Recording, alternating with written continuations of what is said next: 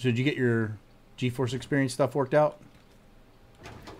I see you, motherfucker. Um, after I did all that, I have only played Save the World, so... There's a right question you might want to fucking do me. It's four times